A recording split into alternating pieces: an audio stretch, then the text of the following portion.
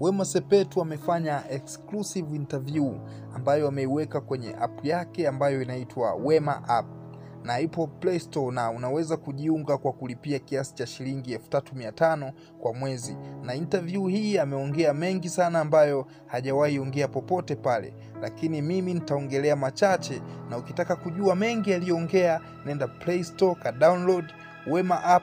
Miongoni, ma, miongoni mwa maswali ambayo aliulizwa mojawapo ni hili.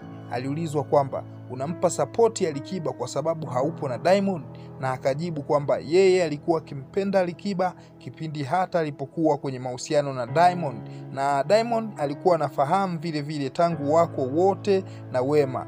Tangu wapo wote na Wema alikuwa anamkubali Alikiba pamoja na wasanii wa mziki wengine. Amekuwa shabiki wa mziki wa Alikiba kwa muda mrefu sana sana. So baada ya kuachana na Diamond, sapoti yake iliendelea kuwepo kwa Alikiba, lakini akaiongeza kidogo kwa lengo la kumkera Diamond. Kama unavyojua watu wakiachana, kuna upande mwingine huwezi penda ex wako akifurahi na mahusiano yake mapya yakiendelea, so lazima utafanya figisu figisu tu ili hali mwenzio achukie na wewe ulizike.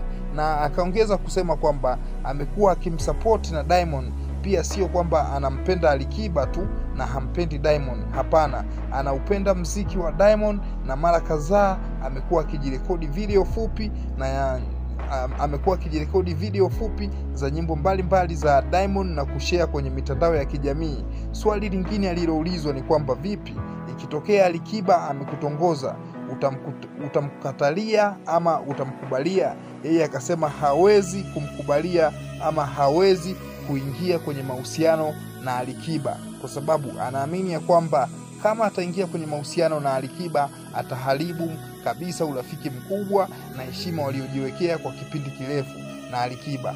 Kama mahusiano ya kimapenzi yeye na Alikiba ni bora yangetokea kipindi kile, sio kipindi hiki.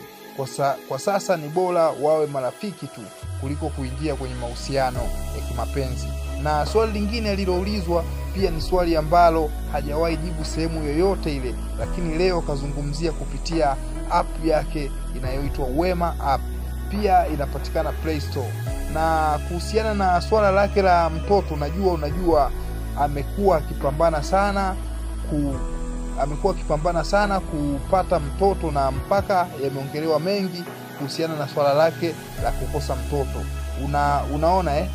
Na humu ameeleza mengi sana kuhusiana na safari ya kwenda India na kadhalika, pia na zile stori za kuhusu yeye kukatwa utumbo na mengi yalikuwa yakizungumzwa social media na watu, ila Wema ameweza kuvizungumzia vyote hivi kupitia Wema app. Lakini kuna swali moja aliulizwa kwamba unahisi marehemu Stephen Kanumba alikuachia laana? Wema akajibu ndiyo, na sababu ambayo inamfanya ahisi kuwa aliachiwa laana na marehemu Kanumba ni kwamba kipindi kile wapo kwenye mahusiano na marehemu Kanumba, alitoa mimba za marehemu Kanumba mbili, yaani alitoa ujauzito wa kwanza na akatoa na wa pili pia na sababu ambazo zilipelekea kutoa ujauzito huo, alisema kwamba alikuwa bado mdogo na alikuwa hayupo tayari kupata mtoto kwa muda huo, na hata Kanumba mwenyewe akasema alikubaliana na swala hilo la Wema kutoa mimba ya kwanza, lakini anasema kwa kitaalamu wanasema kuwa kuwa mwanamke akitoa mimba kizazi kinakuwa wazi na anakuwa kwenye hatari zaidi ya kupata mimba nyingine kwa haraka zaidi. Endapo mwanamke katoa mimba na akasema kizazi kiliposafishwa akaweza kushika mimba ya pili, alifanya siri na akaitoa, na baadaye Kanumba alikuja kujua wakati mambo yashafanyika. Ndivyo hivyo, mambo yashaharibika. Tena Kanumba aligundua mwishoni, na anahisi kabisa na anahisi kabisa kwamba kutoa mimba hizo mbili za marehemu Kanumba, anahisi kabisa ni laana na sababu kubwa ambayo inamfanya aamini kabisa kwamba laana hii ikaachiwa na marehemu Kanumba, na akasema kabla ya kifo cha Kanumba Wema alikuwa akiitwa na Kanumba waonane, lakini Wema alikuwa akipiga chenga. Kila Kanumba akihitaji kuonana na Wema, na akasema mpaka marehemu Kanumba akaanza kumnenea Wema kwamba wewe mwanamke na kudai watoto zangu, na akafikia steji ya kusema kwamba hutoweza kuja kupata mtoto na mwanaume mwingine. yeyote yule. So anasema ni baadhi ya maneno aliyokuwa akiongea Kanumba enzi za uhai wake, na akasema walipokuja kuonana siku chache baadaye, bahati mbaya Kanumba akafariki, na anasema baada ya kutoa hizo mimba mbili kizazi chake kikawa kimelegea, kwa hiyo akawa kila akishika mimba zinatoka na amezungumzia pia na ujauzito wa Idris Sultan. Unafahamu alikuwa na unafahamu walikuwa na mahusiano pia, walikuwa na mahusiano pia pia.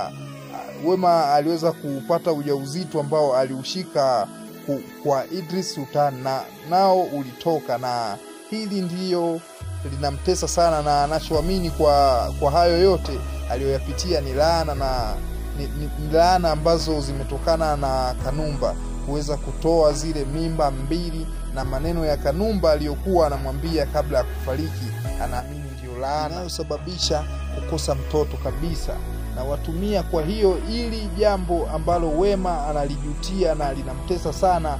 Amefikia hatua ya kusema kwamba pengine Mwenyezi Mungu wale ni watoto wake ambao walimpangia, lakini kwa bahati mbaya akaweza kuwatoa yeye mwenyewe. So sasa hivi anapambana kutafuta watoto, na ukitizama hii interview kuna sehemu kalia kabisa, sababu anakosa matumaini ya kuja kupata mtoto na anatamani sana iwezekane, lakini ndivyo hivyo tena, haiwezekani.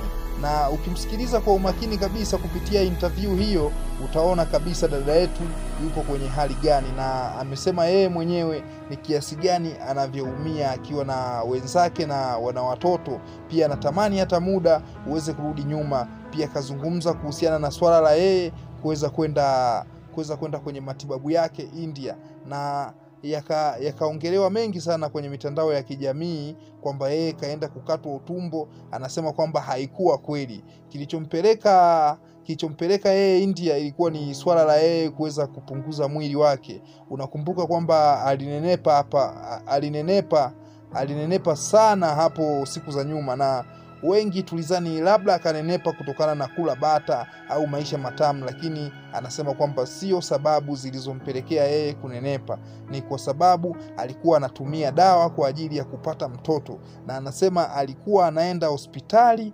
wanabadilisha, wanampa dawa hizi, akirudi wanampa dawa zingine tena ili tu kuweza kushika ujauzito, lakini mwisho wa siku juhudi zote hizo zikagonga mwamba na dawa hizo na, na dawa hizo anasema zikazidi kumnenepesha tu.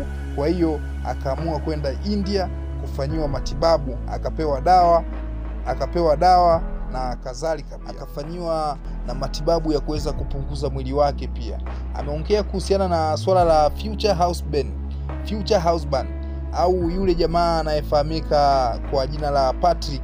Nafikiri wengi mnakumbuka kipindi kile vitu ambavyo vilijito, vitu ambavyo vilitokea na yule jamaa alimuingiza kwenye matatizo ya hapa na pale, na unakumbuka wengi walimkanya sana Wema kipindi kile kumwonya kwamba huyu jamaa sio mtu sahihi, lakini Wema anasema huyu jamaa alikutana naye katika mazingira ambayo kwa kweli aliweza kumrubuni sana na kuingia kwenye maisha yake.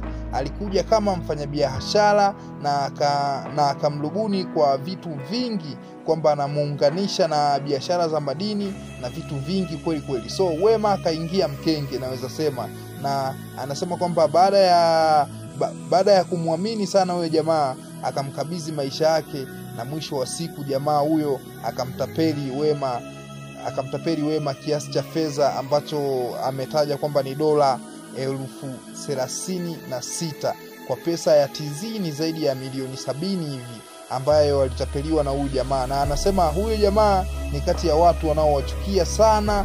Ameongea mengi sana pia ambayo siwezi maliza kuyazungumza hapa kwa kweli, lakini cha msingi naenda Play Store ka download Wema app, na hapo utakuwa umeonyesha sapoti kubwa sana. Pia utapata kutizama full interview, na kwa interview aliyoifanya dada yetu imenifunza kitu kikubwa sana, na haswa kwa upande wa dada zetu, na maanisha kwa upande wa jinsia za kike. Pia ili uwe mjanja na kuwa jirani na familia ya Mbea Conscious, fanya kama una subscribe kwenye chaneli yetu. Pia usisahau kufollow page yetu ya Instagram kwa jina moja tu, Baba afrika Pia acha komenti yako hapo, nitaipitia kwa ushauri zaidi. Asante sana.